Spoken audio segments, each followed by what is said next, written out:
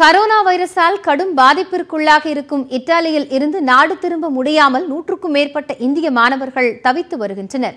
இத்தாலியில் பத்தாயிரம் பேருக்கு மேல் பரவியுள்ள கரோனா வைரஸால் நாடு முழுவதும் மக்கள் நடமாட்டம் தடை செய்யப்பட்டுள்ளது. இதனால் அங்குள்ள பல்கலைக்கழகங்களில் படித்து வரும் இந்திய மாணவர்கள் நாடு திரும்பி வருகின்றனர். அவ்வாறு இந்தியா வருவதற்காக நேற்று மிலன் விமான நிலையம் வந்த மாணவர்களுக்கு கரோனா வைரஸ் பாதிப்பு இல்லை என்ற சான்றிதழுடன் வந்தால்தான் விமானத்தில் ஏற முடியும் என கூறி அனுமதி மறுக்கப்பட்டது. சான்றிதழ் வேண்டும் என்பது குறித்து தங்களுக்கு முன்னரே தகவல் அளிக்கப்படவில்லை என்று சொல்லும் மாணவர்கள் உடனடியாக அவ்வாறு சான்றிதழ் பெறுவதும் கடினம் என்று கூறுகின்றனர். இது குறித்து இந்திய தூதரகத்தை தொடர்பு கொண்டாலும் தங்களுக்கு முறையான பதில் இல்லை என குற்றம் சாட்டும் மாணவர்கள் தனிமைப்படுத்தப்பட்ட கண்காணிப்பிற்கு தாங்கள் தயாராக இருப்பதாகவும் உடனடியாக தங்களை தாயகம் அழைத்துச் செல்வதற்கான ஏற்பாடுகளை இந்திய அரசு செய்ய வேண்டும் என்றும் வேண்டுகோள் விடுத்துள்ளனர். இன்னும் நாலு நாளைக்கு ஏர் இந்தியா ஃப்ளைட் எங்களுக்கு கிடையாது. எங்ககிட்டலாம் இப்போ பெர்மிஷன் இல்லாதனால நாங்கள் ஸ்லிப் வச்சு போகணும். நாங்கள் டேரெக்டாக இந்தியாவுக்குள்ளே போகிறதுக்கு ஏர் இந்தியா மட்டும்தான் இருக்குது ஸோ இந்த த்ரீ டேஸில் எங்களுக்கு இந்த டிசீஸ் திரும்பி வந்துருச்சுன்னா இது இது எனக்கு எந்த கவர்மெண்ட்டையும் நீ ரெஸ்பான்சிபிள் எடுத்துக்கணும் எனக்கு தெரில ஆல்ரெடி இட்டாலியிலே பூன் ஆகிட்டு இருக்கு இந்த டிசீஸ் நாங்களாம் இந்தியாவுக்கு சேஃபாக போகலான்னா இப்போ இந்தியன்ஸை இந்தியாவுக்குள்ள விட மாட்டேறாங்க and uh, we are being asked to submit a certificate, a medical certificate that test that shows that we have no corona and that they are neg- they are tested negative for it.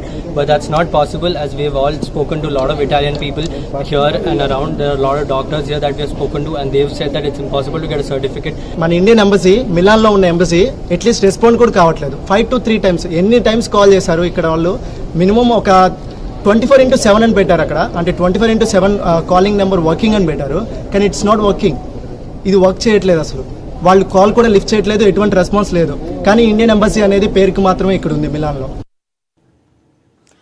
இதனிடையே இத்தாலியில் தவித்து வரும் இந்திய மாணவி Swathi corona virus பாதிப்பு இல்லை என்று தற்போது இத்தாலியில் சான்றிதழ் பெறுவது கடினம் என்றும் அது இத்தாலியில் உள்ள இந்திய தூதரகத்திற்கும் தெரியும் என்றும் கூறியிருக்கிறார் அவரோடு செய்தியாளர் சாரதா நடத்திய கலந்துரையாடலில் அவர் இவ்வாறு குறிப்பிட்டார். இப்ப நீங்க எத்தனை ஸ்டூடெண்ட்ஸ் இருக்கீங்க இப்போ ஏர்போர்ட்ல ஏர்போர்ட்ல இப்போதைக்கு ஆக்சுவலி கம்மி ஆயிட்டோம் லைக் ஒரு தேர்ட்டி பீப்புள் கிட்ட தான் இருக்கும். பட் ஸ்டார்டிங் வேற like one fifty and then everybody is tired ஏன்னா இங்க ஃபுட் இல்ல. எங்களுக்கு இப்போ விட்டா போதும் இருக்கு. லைக். லிட்டரலி நாங்க லாஸ்டா சாப்பிட்டது now. எத்தனை மணி நேரமா நீங்க ஏர்போர்ட்ல இருக்கீங்க நீங்க இப்போ? More than twelve hours like more than fifteen hours sixteen hours இருக்கும் மோர் தென் பிப்டீன் ஹார்ஸ் ஏன்னா நேற்றுக்கு எயிட் ஓ கிளாக் ஃபிளைட் அதனால நாங்க நாலு மணிக்கு போயிட்டோம். ஏன்னா இந்த டெஸ்டிங் எல்லாம் இருக்கும் அப்படி இப்படின்னு சொல்லிட்டு. ஆனா ஃபிளைட் டிலே பண்ணி பத்து மணிக்கு சொன்னாங்க. ஆனா அதுக்கப்புறம் அந்த ஃபிளைட்ல எங்களை போட் பண்ணதில்லை இப்ப ஏர்போர்ட்ல யாராவது உங்களுக்கு பதில் சொல்றதுக்கு இருக்காங்களா அங்க? ஏர்போர்ட் இஸ் எம்டி ஓகே அங்க அபிஷியல்ஸ் யாருமே இல்லையா? யாருமே இல்ல. ஓகே அங்க இருக்க இந்தியன் எம்பசி அபிஷியல்ஸ் என்ன சொல்றாங்க? அவங்களோட தொடர்புல இருக்கீங்களா? எதுவுமே சொல்லல. ஆமா அவங்களோட தொடர்புல தான் இருந்தோம். அவங்க சரியா ரெஸ்பாண்ட் பண்ணல. ஏன்னா ஃபர்ஸ்ட் அவங்க கிட்ட நம்ம இந்த மாதிரி மெயில் அனுப்பிச்சு இந்த மாதிரி டெஸ்ட் எடுக்க முடியாதுன்னா அவங்க வந்து ஓகே நாங்க பேசிட்டு உங்ககிட்ட சொல்றோம் அப்படின்ற மாதிரி சொன்னாங்க. பட் வென் கேம் ஹியர் அது பத்தல. சோ வென் வி அவங்க அவங்களும் வந்து ஆமா ஆமா எங்களுக்கு தெரியும் இந்த டெஸ்ட் எடுக்கிறது கஷ்டம்னு சொன்னாங்க. ஆனா அத ஒரு ரீசனாவே எடுத்துக்கல இங்க.